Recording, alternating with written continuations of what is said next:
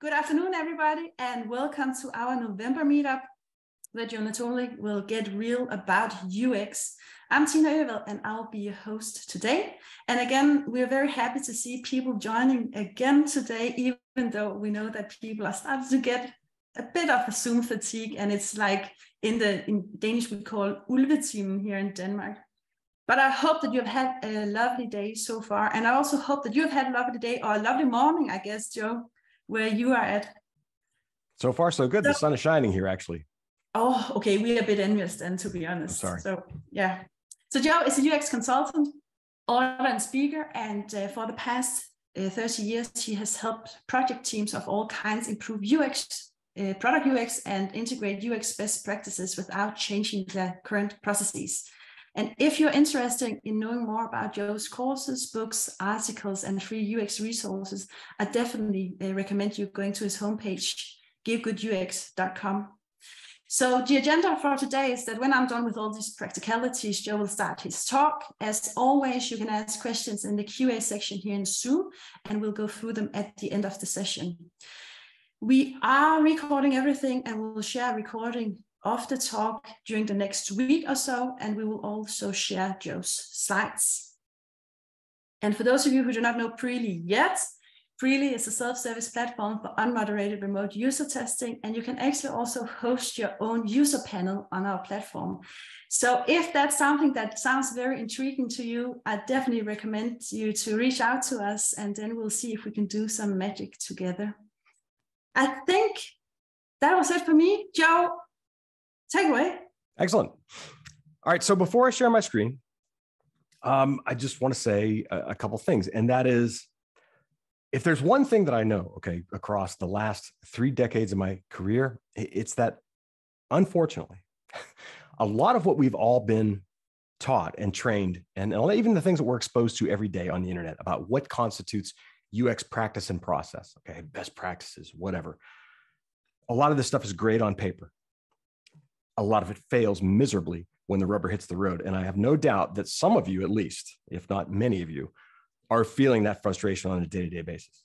Okay. The way it's supposed to be and the way it is are two very different things. I think we all know that.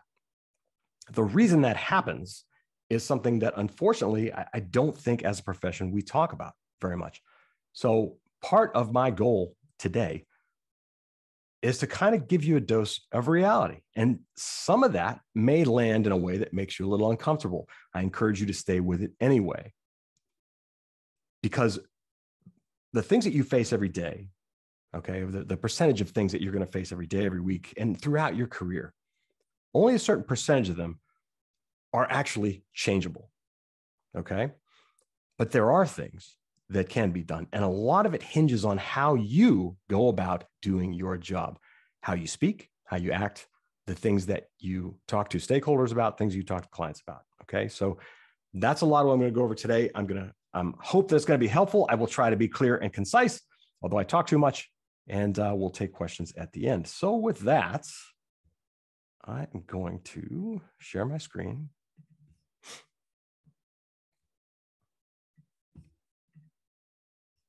And I'm also going to hide this. Well, I'm going to attempt to. There we go. Okay, everybody should see a slide that says getting real about UX. We I'm do. That's right. Okay. Full screen. Here we go. How many of you out there work in an environment where the urgent trumps the important? Right? You know what you know what the, the things that are most worth doing are. However, every five minutes there's something that sort of supersedes that. Someone says, "We need this. We need this. Can you do this? Can you do this by, you know, yesterday ASAP?" Is it a situation where speed and task completion matter more than value or success? How many of you are working to convince your bosses or your fellow employees to add UX practices and processes? Any of you out there fighting with stakeholders or with clients or with developers uh, or with product owners or product managers or project managers for that matter, um, just to do the job right. I meet people every week who feel like they are fighting to be allowed to do their job. This is much more widespread and much more normal than I think anybody admits. Is that working? Are those battles working? Are you winning? Are you getting what you need? Are you convincing folks? Or does it feel like a treadmill? How many of you are quote unquote integrated into an agile product development approach? Integrated is in quotes there because that rarely happens. Is it working? Is, is, is working inside an agile or lean or SAFe or whatever process you happen to be using, is that going the way that everybody you think it should? Is it frictionless? Is there true collaboration or is there combat? Are there surprises? How many of you feel like this? I'd be willing to bet that a lot of you feel like this. And here's what I hear all the time every week. All right. I, I from students, I've got over 280,000 students who've taken my courses. Uh, I work with clients just about every month, client teams. I coach people individually. And this is what I hear they don't get it. I hear this over and over and over again every day of every week. They just don't get it. Now, it's true that organizations misunderstand what UX work really is, what design work really is, right? That it's more than making things look pretty. However, so do far too many UXers, designers, and developers. UX, to my definition, it's just Joe's definition, okay, and has been for a very long time.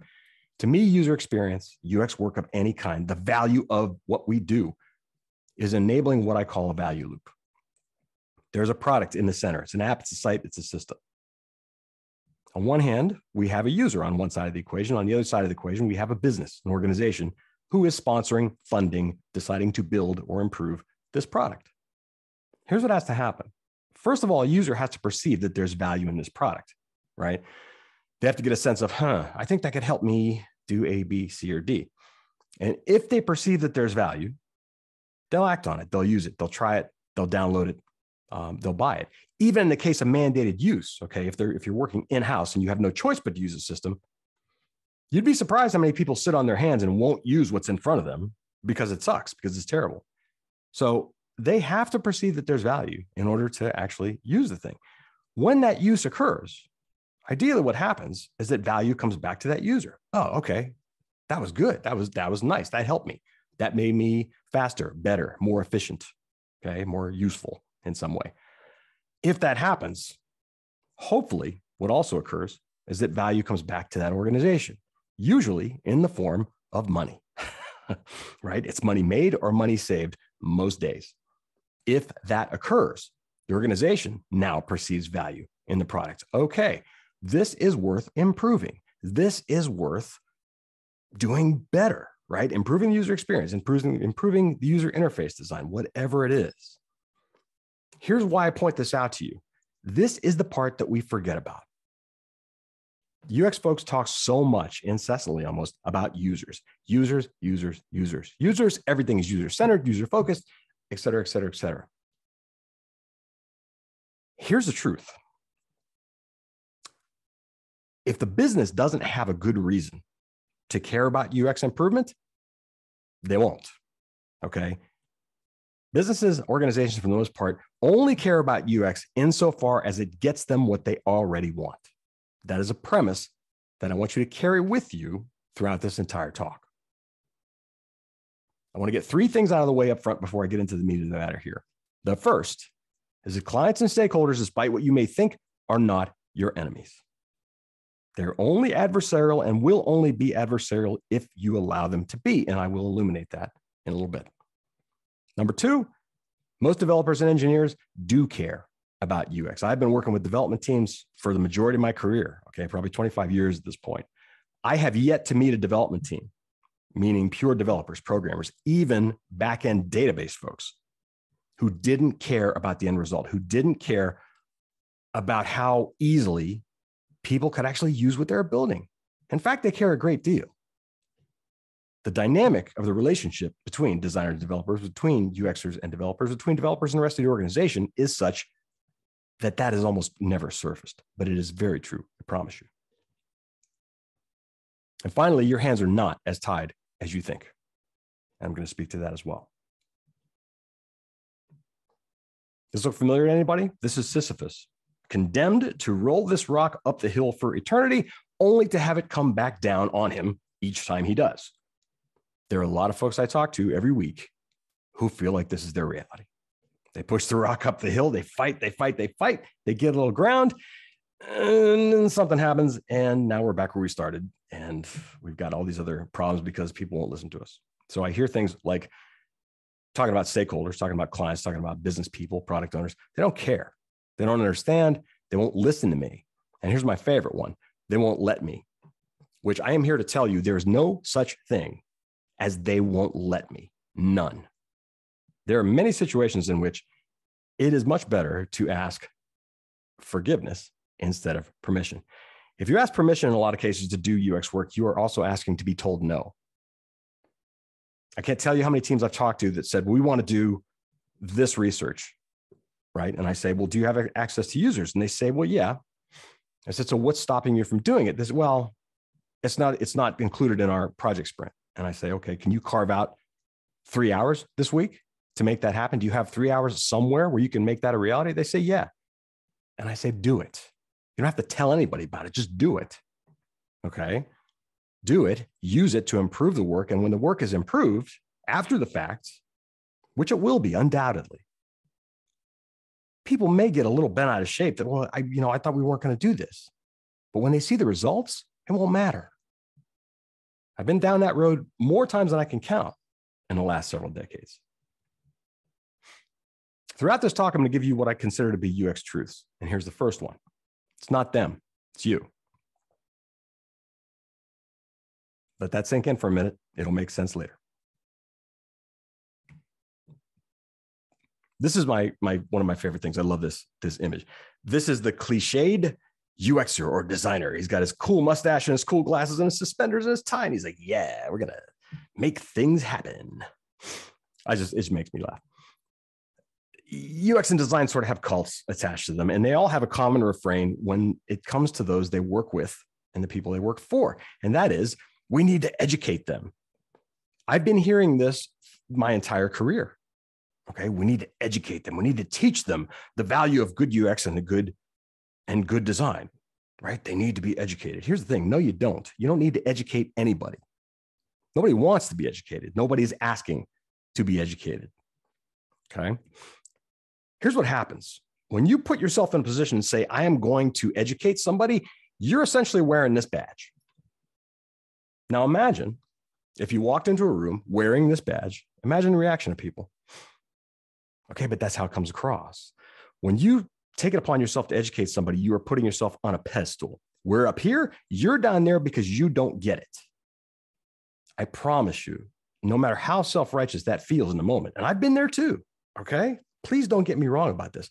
I, I am routinely, often as frustrated with clients as you are but you cannot approach it in this way. You cannot approach it from the perspective of, I'm going to educate you. There is nothing good that comes from that, no matter how well intentioned you are, no matter how diplomatically you put these things across. The other person is sitting there feeling like, why are you lecturing me? What really happens, what really should happen, I should say, is you need to communicate with them. Okay. This isn't about lecturing, it's not about educating, it's about open honest, transparent communication. Our problem as a profession are the things we use to do that. Okay. And the things that are that are routinely talked about that we should use to do that. For example, we use diagrams like this to explain what we do, or this, or this, or this user journey. Okay. Or this. Or here's my favorite one customer experience map. Now take a good look at the complexity there. I want you to think about your own experience for a second in the company you work for or clients you've worked for if you work for yourself. And I want you to really honestly tell me how many of those folks were willing to look at something this detailed and really fully read and absorb and pay attention to and internalize every single thing here. You know the answer to that question as well as I do. Okay, we got to stop this. As a profession, we have to stop this. These deliverables are ridiculous. The purpose of these diagrams is not to communicate because it doesn't happen. All right, it's to impress in a lot of cases, if we're honest with ourselves. It's to convince other people that we know what we're doing, right? It's a bid for legitimacy. It's I am just as valid as these developers you pay, as these researchers, as these um, salespeople, okay, just as marketing, operations, whatever. The problem is that the visual complexity of, of these things is intimidating for many people. You may not think so, but it's absolutely true. Okay. I've had enough back channel conversations with executives and product owners and managers to know that in a lot of cases, they're tuning you out and ignoring what you're saying. Or worse, nine times out of 10, they pretend to get it. People sit there and nod their heads while you're talking, while you're working, going through all this stuff in a deliverable like that. And they agree to things that they don't really understand. And they walk out of the room. And folks on our side of the fence think, okay, that was great. Everybody got it. Everybody understood it. They're all on the same page. I'm telling you, I have conversations with these same product owners, these same product managers, these same executives who have said to me at one point or another that repeatedly over the last 20 years, I'm going to be straight with you. I don't understand what we're doing here or why we're doing it or what it gets us. That's because you're essentially presenting them in a foreign language. It doesn't make sense to them. Okay. What about the terminology we use as a profession? Okay. What about these things? What about these words? I mean, some of these things, when I read them, I, I hear this sort of ridiculous, like Monty Python esque uh, accent, like prioritization matrices, multivariate testing, usability testing, machine ethnography, confidence intervals. Okay. I'm being ridiculous on purpose because I find that funny. But the terminology we use doesn't mean anything to anybody. There's no magic in these words. There's no magic in using the vocabulary that we routinely use in front of people who have no idea what the fuck we're talking about. Okay. Those words don't mean anything to anybody but you. They don't. We want to think that they do, but they don't. Using those terms does not make anyone any more legitimate. I promise you. Okay. I know all those big words. I don't ever use them with clients ever. In fact, I don't even say the word UX if I can get away with it. Okay. Never, never. Why? Because I don't want to introduce anything that gives them a moment of pause where they're like, okay, what does he mean by that? Because the minute that happens, I've lost them. And if they're struggling in their heads to go, okay, what is? What do he mean by that? What do you mean by that? They're not paying attention to me at that point forward. Okay. They are tuning me out, and everything else I say is going to be irrelevant because they're still stuck on that thing. Like, what the hell does that mean? And they're too embarrassed to say out loud that they don't know what I'm talking about. So again, people will sit in meetings with you and they will agree to everything you say. And the truth is, in a lot of cases, they don't know what you're talking about. People need to hear what you have to say. All right. You have a valuable point of view to express. There's no question about that. The value of the work you do is not under debate here. Okay. But when you talk about it, you have to say it in a way that ensures people will understand you. Okay. So, UX truth number two is you must speak the language of the people you're talking to clearly, simply, plainly. I always talk to people in a way that assumes they have no idea what I'm talking about. All right. That, that's always been my thing. It's the way I teach, it's the way I consult with clients. Um, and these are sophisticated clients. Okay. These are Fortune 100 organizations, government agencies, big global organizations. I talk to them the way I'm talking to you right now. The questions I'm asked most often about tend to be about UX tools. Okay, people on, online on social media, my students, um, people on teams I consult with, everyone wants to know about tools. What tool should I use for this, or what software should I use for this? Meaning, you know, methodologies, processes, software, etc.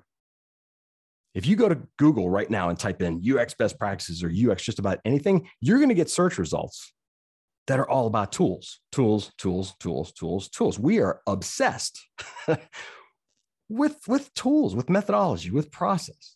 Okay. Deliverables, process. Go to General Assembly right now, affinity mapping, card sorting, customer journey mapping, right? These are all processes.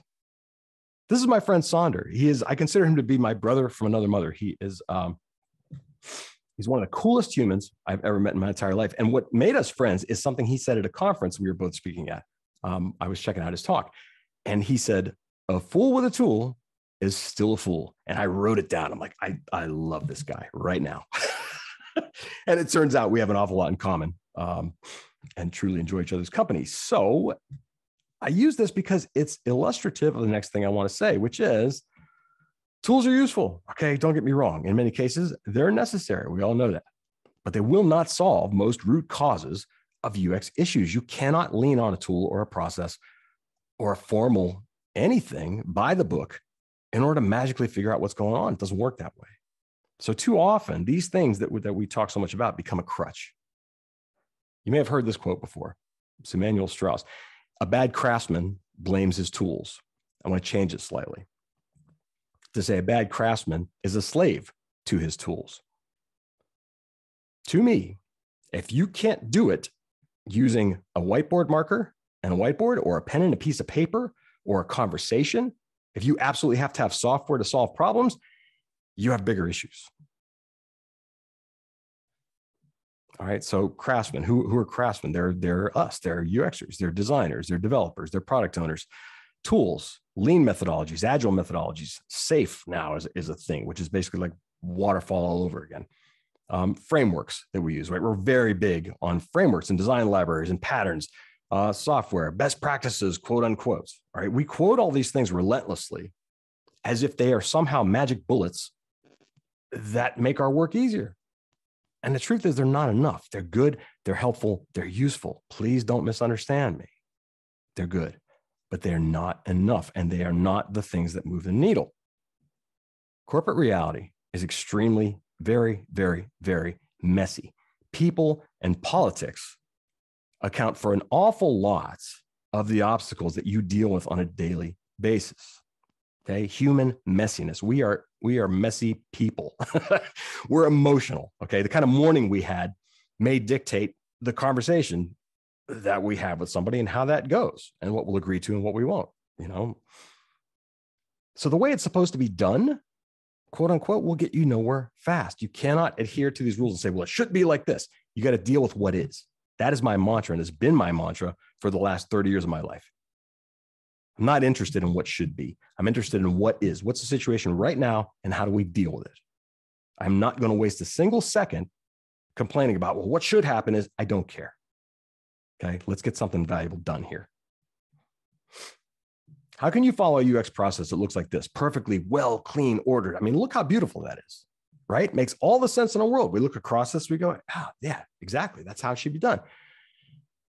The problem is that you can't follow something that looks like this because corporate reality looks like this. It's a mess. This is something I do with every client.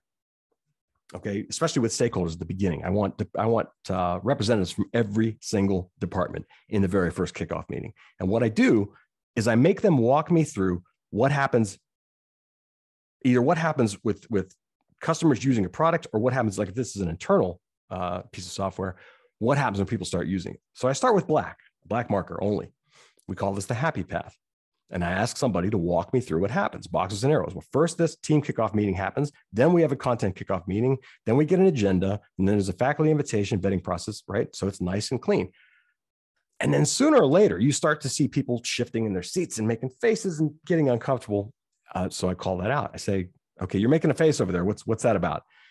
And they'll go, well, the thing is, that's the way it's supposed to happen. But what really occurs is that at that faculty invitation vetting process, there's an outside person who's a collaborator that may or may not be involved, but should be involved. And then there's they have to pull in additional faculty. And then there's a timeline issue because we have to deal with grant developers and uh, commercial supporters, and there's a checklist that has to be. And so they're saying there's all this shit that happens, and we're waiting, we're sitting. So I highlight all that in orange. Already we've got a deviation. And as we go, and as I do this, you can see that there's a bunch of blue. See all the additional heads in there and blue circles and roundabout arrows, and see how ridiculous this starts to get and unordered this starts to get. That's from people piping up during that process and saying, yeah, but what actually happens is these people have to get involved. And then it goes through this process. Here's the reason I do this I want everybody in the room to see just how messed up, dysfunctional, and overly complex and redundant in some cases their process is because in their heads it works beautifully it's this nice ordered process from step 1 to step 25 and it isn't it's this it's always this folks i promise you I have yet to see it differently in any company I've ever worked with. It's chaos all the time. Okay, so you have to deal with this. You can't deal with that perfectly ordered process. It doesn't mean anything. So, unpopular opinion. I am of the frame of mind that, that too many of those complex formal UX methods you hear about, all those diagrams that we share so often on social media, they're just ego driven fantasies okay, about meant to show us how smart their authors are. Well, the process I use is this.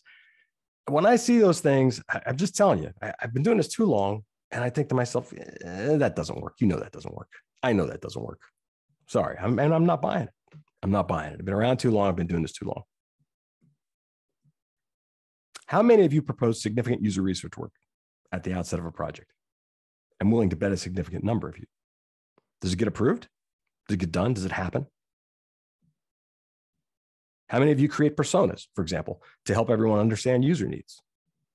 Does anyone else actively use those things after they're created? After you create a persona, is, is the, the product owners and the development team are people constantly referring back to those personas to say, okay, are we still on track? Does this still make sense? Um, and does what we thought we knew about this user still hold true? Is that happening? Or are you creating a deliverable that goes into the void, never to be seen again?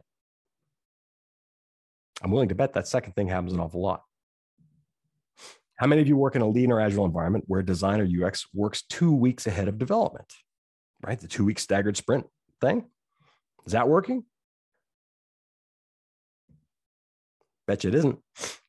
In a lot of the organizations uh, I have consulted with, in fact, the majority, I have never seen a single instance where UX and design working two weeks ahead of development has produced anything but surprises. Design is surprised at what the developers build. And then when developers get stuff from design back, they're surprised that it's overly complex and difficult to build and not what they planned for at all. Okay. This bullshit about staggered sprints two weeks apart only continuously surprises everybody all along the way. It builds frustration.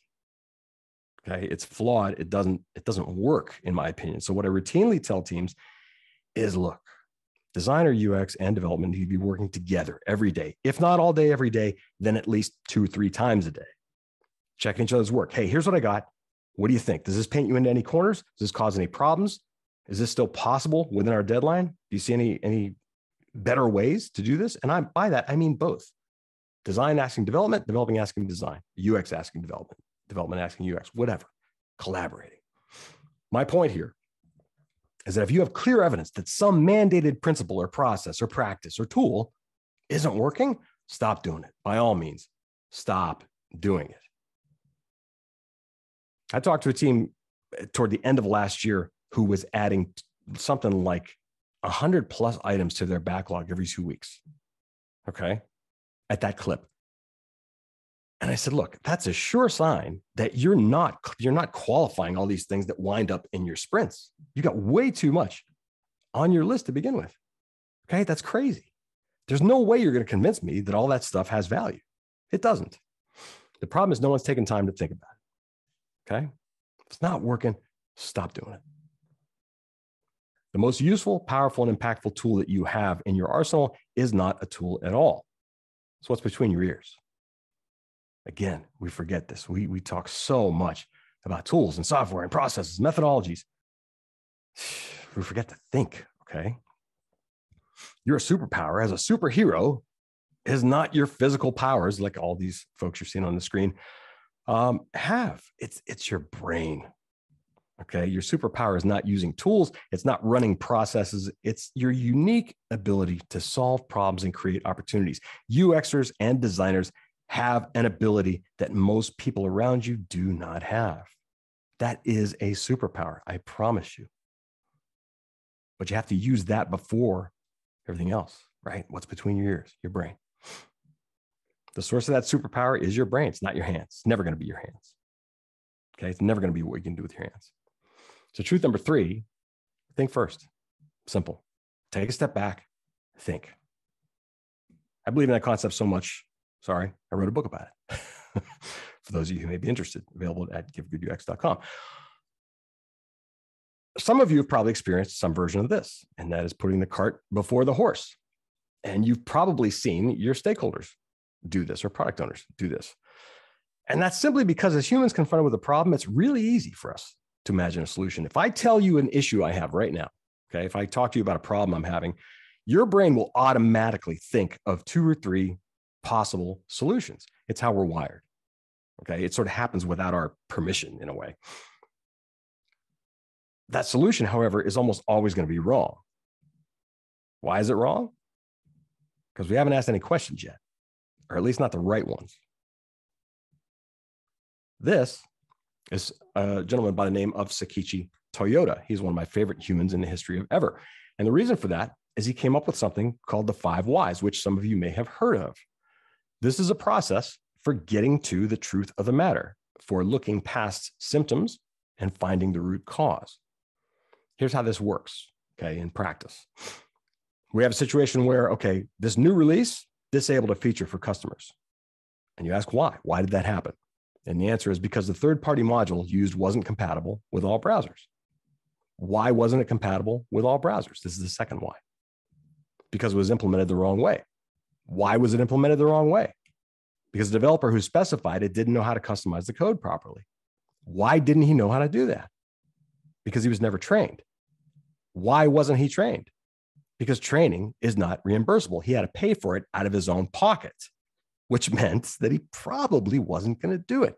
This is the problem. Now, you may look at this and feel like, well, that's out of my purview as a UXer. It is not. It's not. I cannot count how many difficult problems I've helped organizations solve that had nothing to do with the product itself. Okay. It had to do with communication, it had to do with some process or mandate or protocol the company was following that essentially kept people getting in their own way. It is difficult to do your job well in the face of things like this if you can't get to what the hell is causing the problem in the first place. What'll happen is you'll spin your wheels, you keep trying things, and the problem isn't changing, right? There's still defects in the build. UX is still poor every release. And you go, why does this happen? Very rarely, in my opinion, is bad UX in a product the result of designers not being able to do their job well, right? Or UXers not having enough skill or enough talent, or even developers not having the skill or talent or ability. It's not about anyone's ability to do a great job. It's about all the dysfunction that is preventing them from doing a good job. All right. And again, as, a, as an industry, we don't talk about this enough, or nor do we talk about how to deal with it.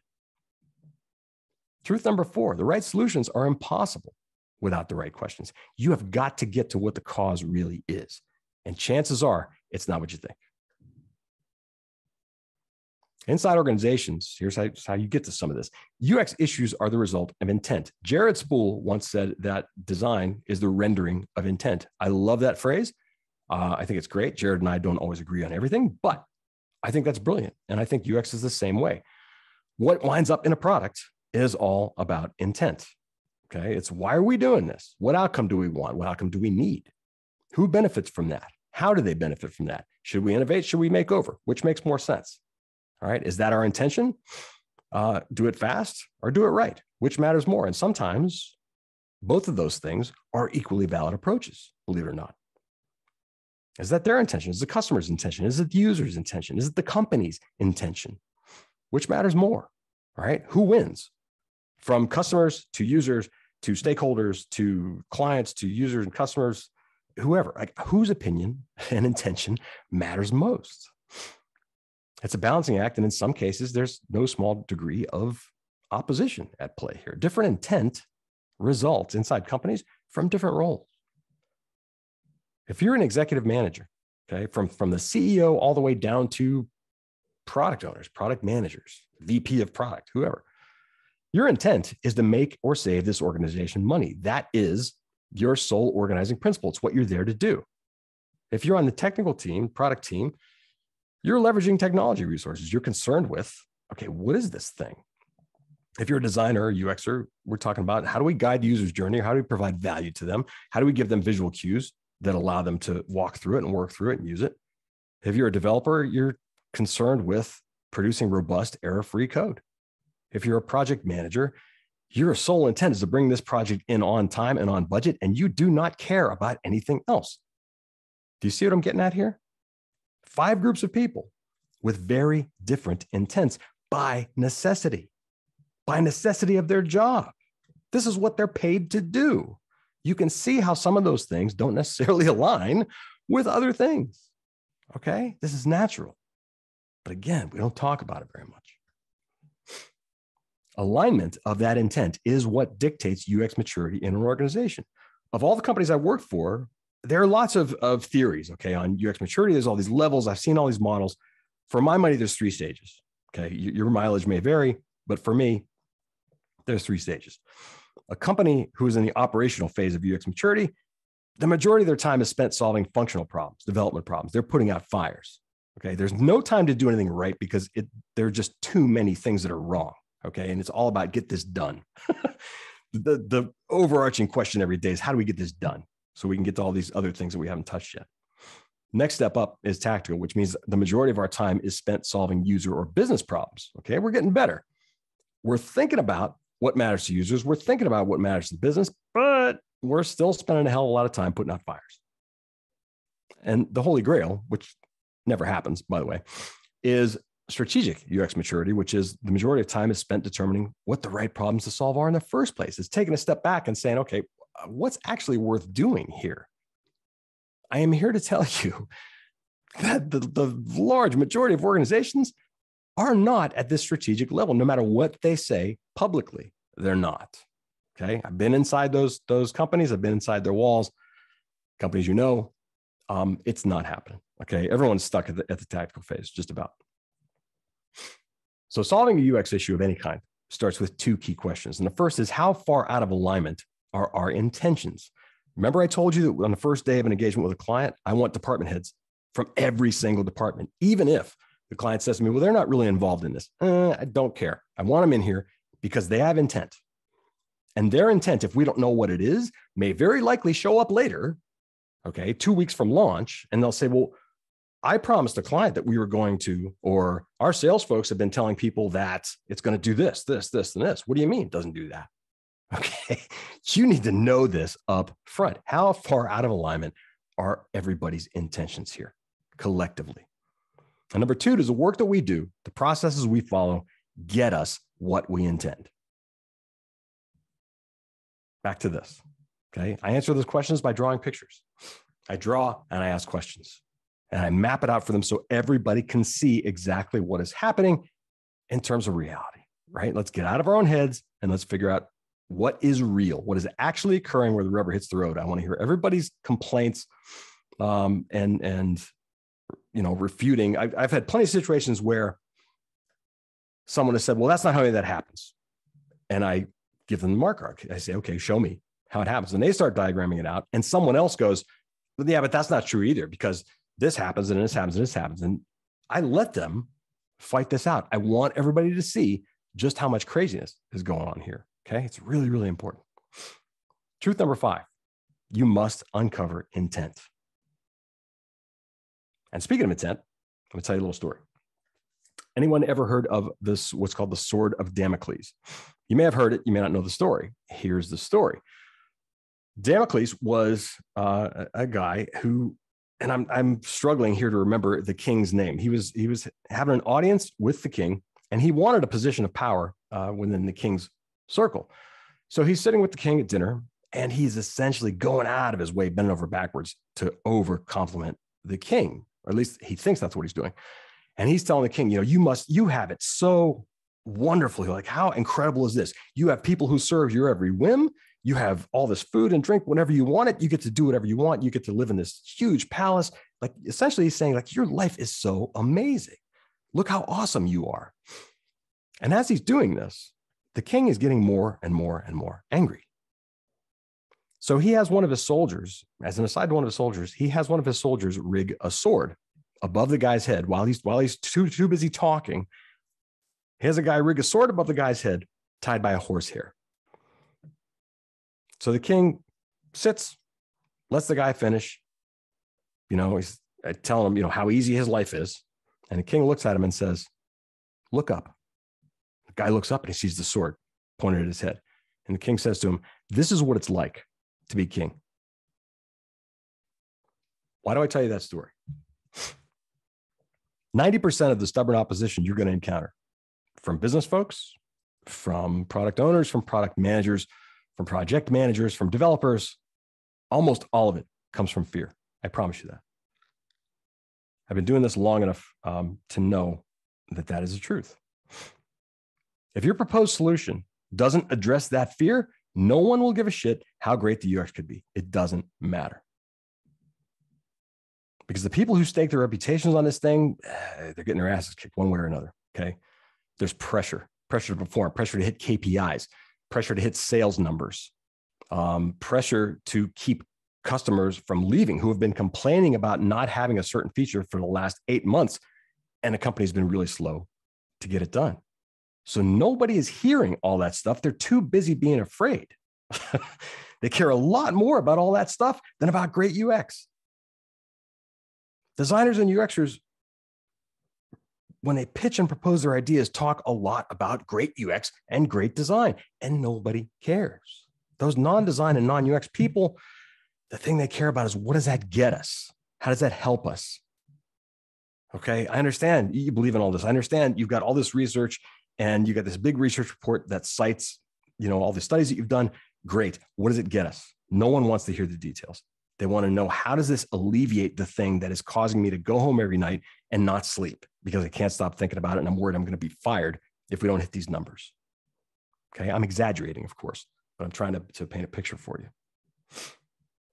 So, what do they care about? In general, it's a long list, but in general, it's three things. It's the volume of work we're talking about. How much is this? Okay. What they want to know when you're pitching some proposed plan of action how much is it? What painful problem is this work going to solve? And it has to be something that they already care about. Okay. Because if it isn't, you will spend hours and weeks and possibly months trying to pitch people on a solution that they're just not interested in.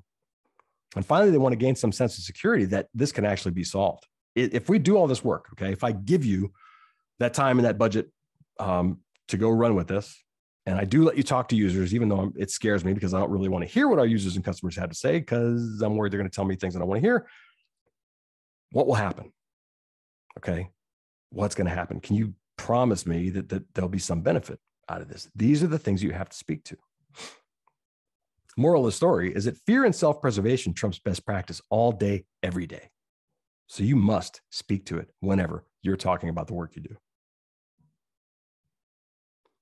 Stakeholders often say things like this I don't want to hear excuses. We need to get this done in two weeks, period. Remember what I said up front about the urgent trumping the important? You say, well, we need four weeks to do that. And they go, two weeks, get it done. Here's how you respond to that. What are you afraid is going to happen if we don't get this right? Because that's really what's being said. Okay. You have to listen behind what's actually what the, behind the words, and you have to listen for intent. The intent here, when someone says we need to get this done in two weeks and they don't want to hear logic Okay. That's fear. That's people operating on fear. When there is no real basis for a deadline and nobody knows why a date is at a certain date, it's because they're afraid of something happening. You need to find out what that thing is. And sometimes it's a it's an irrational fear. So by asking this question, what are you afraid is going to happen if we don't get this right? That person may come to the realization that, well, I guess nothing, actually. I'm serious. I've, I've had conversations with people where when I asked that question, they went, I, I, I guess nothing. So why does this date have to be this date? Can it be moved a week? Yeah, probably. Okay. Changes the complexion of the conversation. Here's another one. We got to fix all these things ASAP, no exceptions, right? When you get a laundry list of items, things that have to be addressed, and you say, which of these are most important? What's the answer? The answer is always all of them. Okay. You're asking for prioritization, and they're like, mm, no, all of it. Sorry. That's fear as well. So the way you respond to that is how bad is each problem and how often does each one occur? You have to take it upon yourself to prioritize those things by these two metrics. Okay. And say to that person, all right, we're going to tackle the worst things that happen a lot first. Everything else waits because if we don't solve these problems, it doesn't matter if we solve the rest. Okay. We're going to be underwater. We're going to be stuck unless we solve these things. So if no one else is going to prioritize that list, you do it. And this is how. You need to have UI design options ready for review by next Wednesday. Again, arbitrary deadline. What you say is, what do you need to know or understand by then to be confident that we're making progress? Whenever somebody tells you what deliverable you have to have ready by a certain time, and you're thinking in your head, like, oh, okay, that's stupid. It makes no sense. Or we're not even there yet. The only way you're going to win that argument is by asking this question. Again, it's solution jumping. It's saying, well, I need UI options. The, the reality is they probably don't need UI options. They need some clarity as to what's happening. What do you need to know? What do you need to understand by next Wednesday to feel good about the progress we're making? What would make you feel good about that? Force them to answer that question. Okay, so you answer questions with questions. I hope you're seeing the trend here. UX truth number six you have to look and listen for fear and make sure you speak to it. In many situations, what I hear from a client when they first engage me is we need to completely redesign this system. I've heard this more times than I can count over my time uh, doing this, which again is like far too long. It's like three decades. What I do in response is politely ignore that statement. Seriously. And I sort of push it to the side. And what I do instead is I ask, why? And I ask it at least five times. Why do you need to resign this? Okay. What led you to the point where you said, this whole thing has to be redesigned? What happened? What event took place? Okay. What I'm trying to get to is what caused this panic, what the real issue is, right? What the motivation is, what the intent is, what it is they actually think they're solving by redesigning an entire system, which in most cases is un- unnecessary. And I'm going to tell you a little story that illustrates that.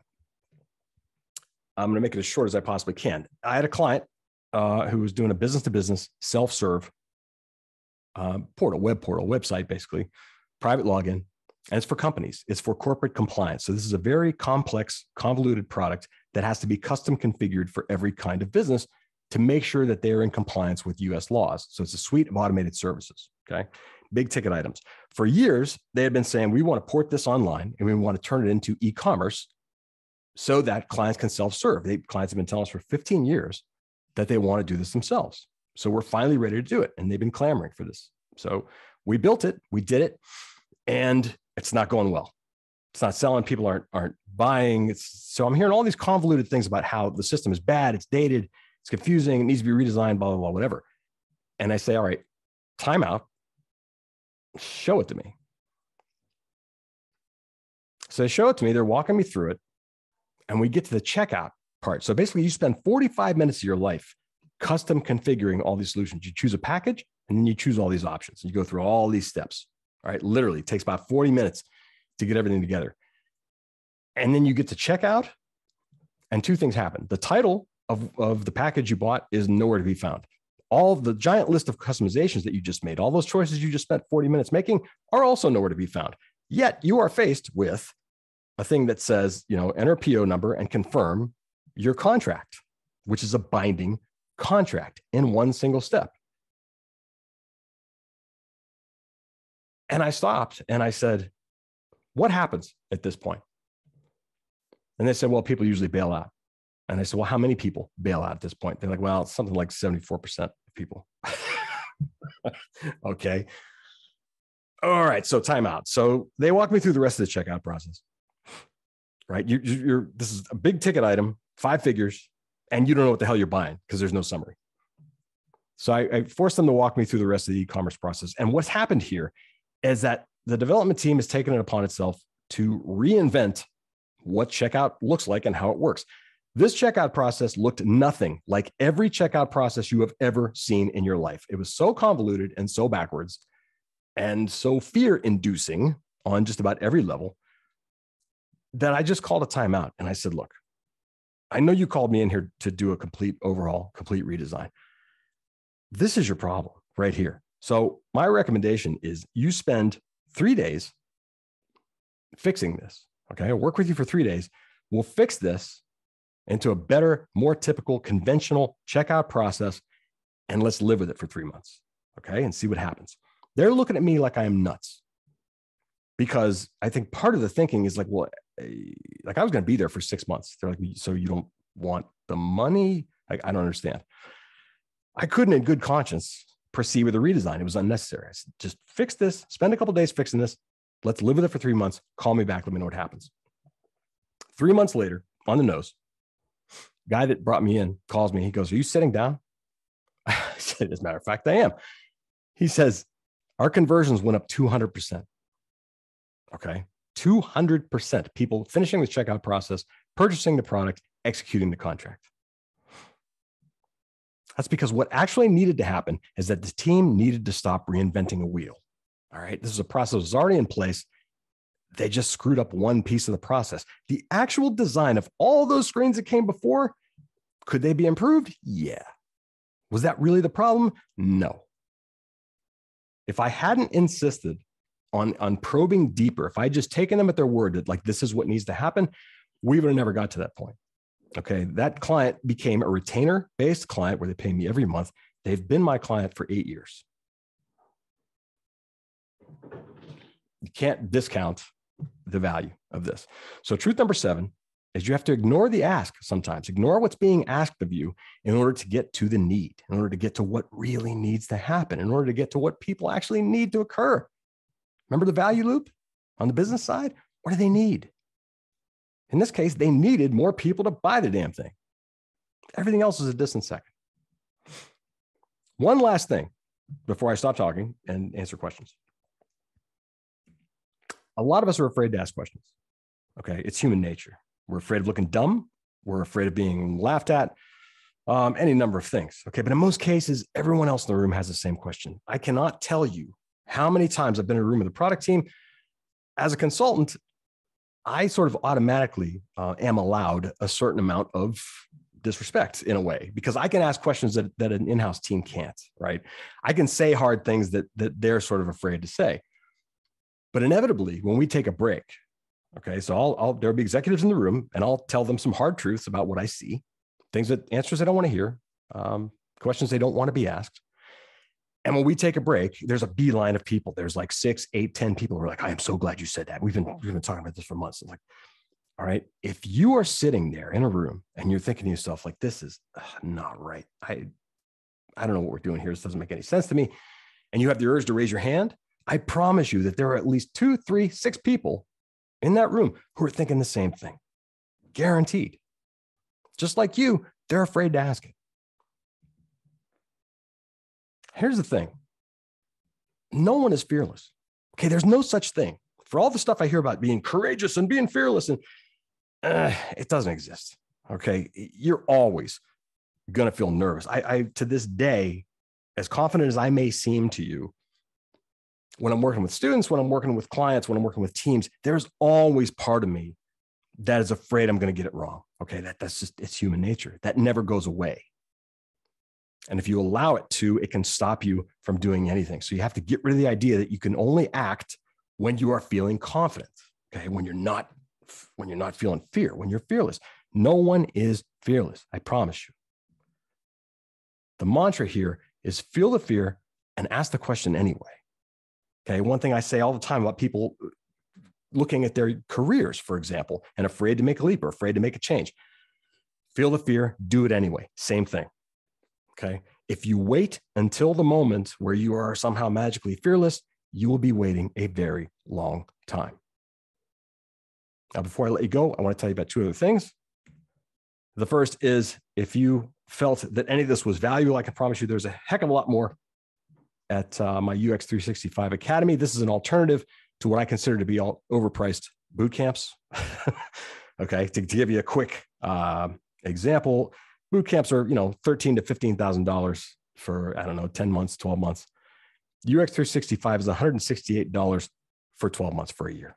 One hundred sixty eight dollars versus thirteen thousand, fifteen thousand. Now, is it one on one instruction? No, it's self serve all the way. But I think that we cover a lot of the same ground where our emphasis is on the practical side of this profession. It's on things that nobody talks about. It's on the day to day reality of doing this work that all those certification courses, which are really just completion certificates, don't talk about.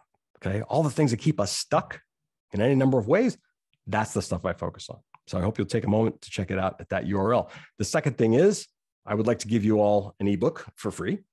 And you can do it by going to this URL. It is called The Way It Is. It's 10 Powerful UX Career Tips, which I learned the hard way.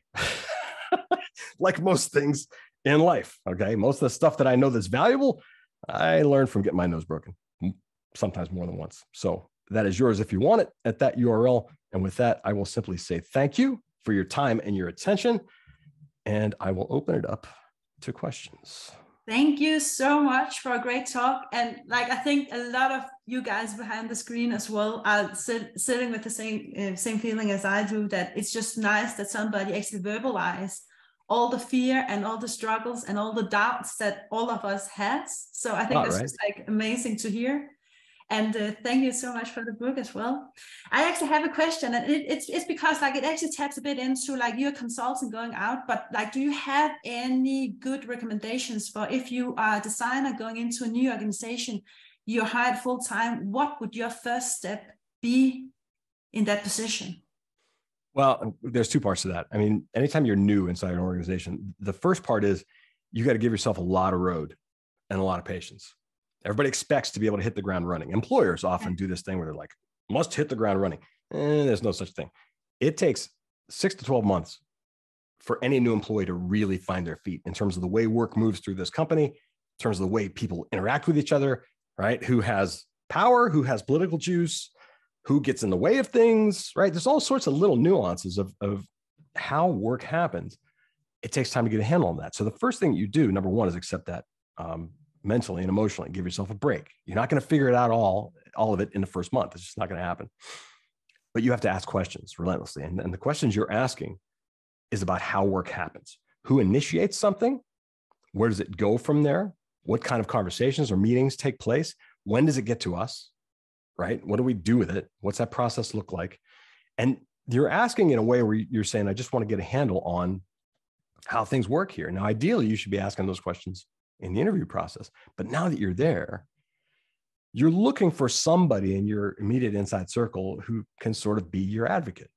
Okay. And in general, that's going to be a small circle. So the person who's willing to spend the most time speaking with you, period, that becomes the person you bug. This is your new best friend.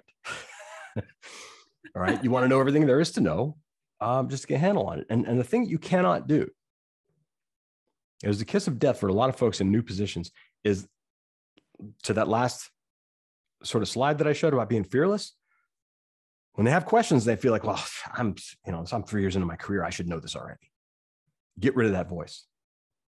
You have to ask the question. If you proceed with something on a guess, you don't ever want to guess when you're new on a job, ever. Not ever, ever. If you don't know something, you have to ask somebody and you have to disregard the voice that says they're going to think you know you don't know what you're doing. Hmm but I think that goes for all professionals, right? Yes. Because I've been in so many meetings in big organizations where, like, sometimes you also just a fly on the wall, and you can just hear that there's like one is speaking in like here, and the other one is speaking here, and then they go out of the meeting being like they actually think there's consensus, and you're just like, okay, you were discussing like two poles, and no, you didn't reach any agreement whatsoever. So I right. think it's just important right. in order that, as you point out, being being fearless and just like also not being afraid of yeah like sounding stupid when you ask the questions. I mean, I do that with clients. Okay. I, will ask a question. I'll say, well, can you explain that to me in greater detail? And it's happened many times in my career. Someone will say, well, I just did. Yeah. All right. They're irritated that they have to enlighten me. Yeah. And, and it's, and there's arrogance that goes with that. They're like, well, you're the expert. Why don't you know everything? And I'll say, I know you explained it, but I didn't understand it. In order for me to help you, I need to understand it. So yeah. I'm asking you to be patient with me and just walk me through it again. Yeah. And I don't care if they're pissed off. You understand? It doesn't matter to me. I mean, my my job is not to to make friends necessarily. My job is to help them. I can't do that if I don't know what the hell's going on. Right. Yeah. So I'm going to keep asking for clarification until I get it, till I understand it. I don't care what anybody thinks of that. If you want me to help you, you need to tell me. Yeah, I think that's a good point, to be honest. So a lot of people are very happy about the talk. So uh, that goes out to you, Joe. So I think we have a question here. So how to balance business needs and user needs in the UX vision and strategy? You have to find the spots um, where the two things overlap. Okay, that, that value loop I talked about is really important. This is going to sound like sacrilege to a lot of people. I don't ever start with users. I start with business first. My, my research is always business side first because that's where the obstacles are. Okay. The problems that users have are the result of business side uh, mismatches in intent, fear, dysfunction, politics, whatever it is, nine times out of 10, the reason users aren't getting what they want is because there's a problem on the business side. So the first thing I need to know is what do these people want? And I also need to know where they're disagreeing. Okay. If marketing is disagreeing with sales, is disagreeing with product, you know, or the CEO is overriding everybody because they have a, they saw some product last week and they think everything should work like that. Yeah. I need to know that. I'm going to get nowhere. We're going to spin our wheels for four weeks. We're going to do all this work and none of it's going to matter because the big cheese is going to come in and say, no, I want it this way. Okay. I need to know that stuff up front. So the way you you balance it is you start with the more difficult side of the equation, which is always going to be the business side. Okay, you get that in line first. You make sure you understand what people want, why they want it, what's at stake, it, because all those things tell you where people are going to stand up and say, "We're not doing that."